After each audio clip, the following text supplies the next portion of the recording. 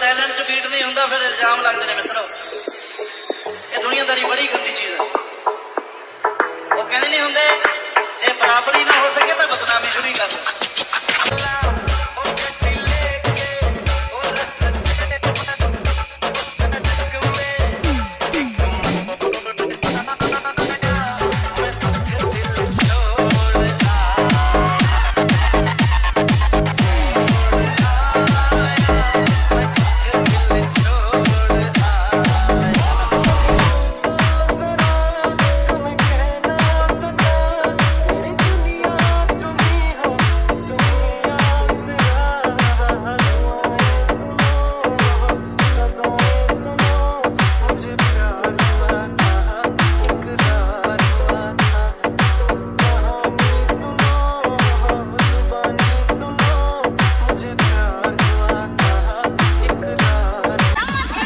DJ Dinesh Makhupura.